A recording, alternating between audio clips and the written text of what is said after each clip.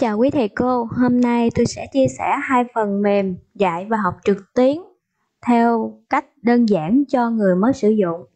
Thứ nhất là Google Meet. Để tìm được Google Meet, chúng ta sẽ tìm Google Meet trong thanh công cụ và nó sẽ hiện lên Meet. Ấn vào thì nó sẽ ra một đường link như thế này. Để tạo được cái phòng học thì chúng ta vào cuộc họp mới. Nếu bắt đầu dạy liền thì chúng ta bắt đầu cuộc họp tức thì, nó sẽ hiện lên một phòng học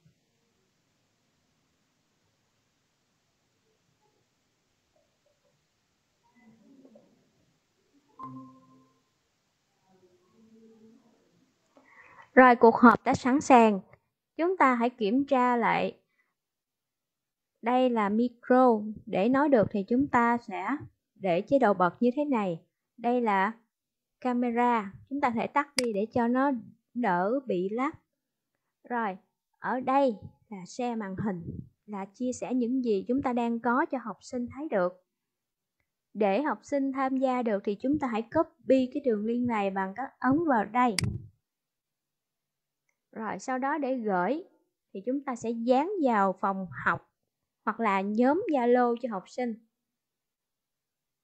Học sinh chỉ cần ấn đường link và vào thì chúng ta sẽ biết được bao nhiêu học sinh tham gia ngay tại chỗ này. Hiển thị những người tham gia. Rồi để hỏi và đáp bằng cách gõ bàn phím thì chúng ta sẽ sử dụng ngay đây. Đây là tin nhắn trong cuộc họp hoặc là trong cái bài giảng của chúng ta. Rồi, về việc chia màn hình, chia sẻ thì chúng ta chia sẻ như thế này. Sau khi uh, chúng ta chia sẻ link xong học trò vào, xong chúng ta tắt cái này đi cho nó gọn. Chia sẻ màn hình. Rồi, chia sẻ toàn bộ màn hình là những gì chúng ta đang bật trên máy vi tính học sinh sẽ có thể thấy được. Còn nếu một cửa sổ, ví dụ như chúng ta bật trang PowerPoint, thì chúng ta chỉ cần mở cửa sổ của cái trang PowerPoint thôi. Ở đây tôi sẽ mở thử một cửa sổ. Rồi, ở đây tôi có là ứng dụng. Record tôi đang bật một số cái ứng dụng. Vào những ứng dụng này thì học trò sẽ không nhìn thấy được bài học. Rồi, chúng ta sẽ hủy đi. Nếu mà không chọn được thì chúng ta sẽ chọn toàn màn hình.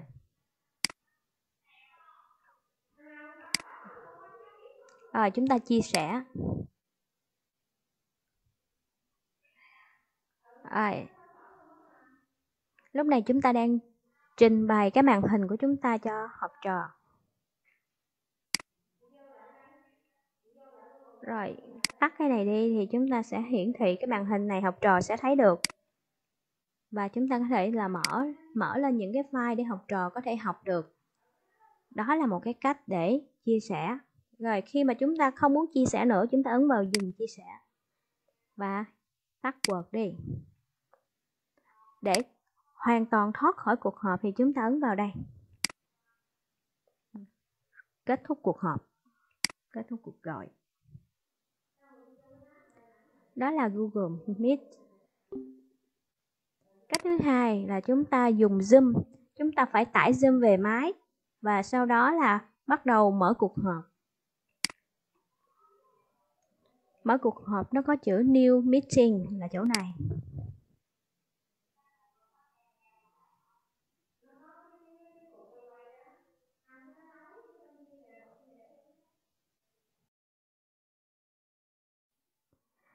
Đây là màn hình sau khi chúng ta bật zoom lên nè quý cô.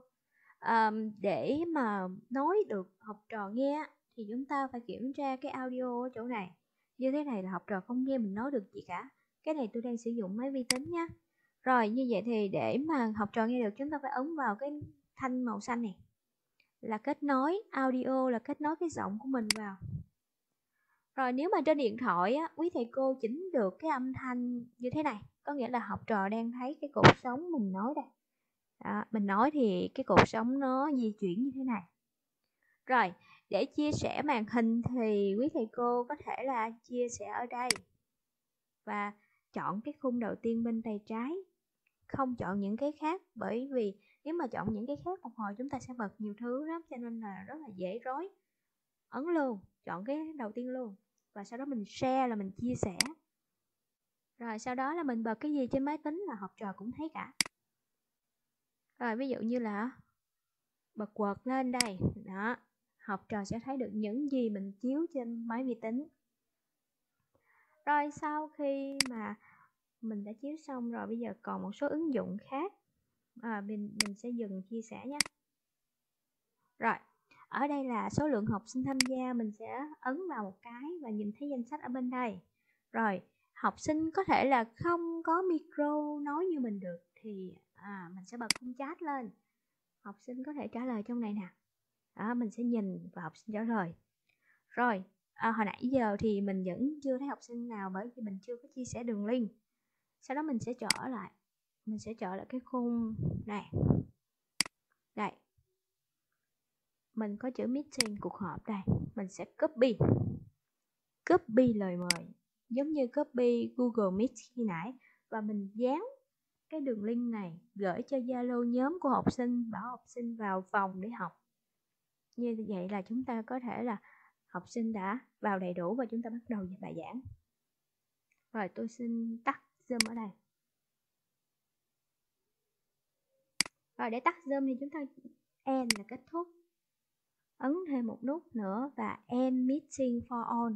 Mình tắt hết là học sinh sẽ tự động thoát ra luôn. Um, về cái vấn đề mà chúng ta dạy trực tuyến nhiều khi học trò không thể nào nghe được hết cái lời giảng của mình.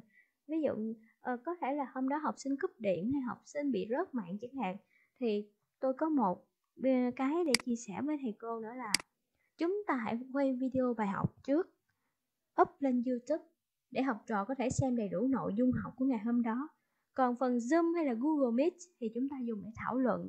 Thảo luận xem học sinh đã nắm được bao nhiêu phần rồi.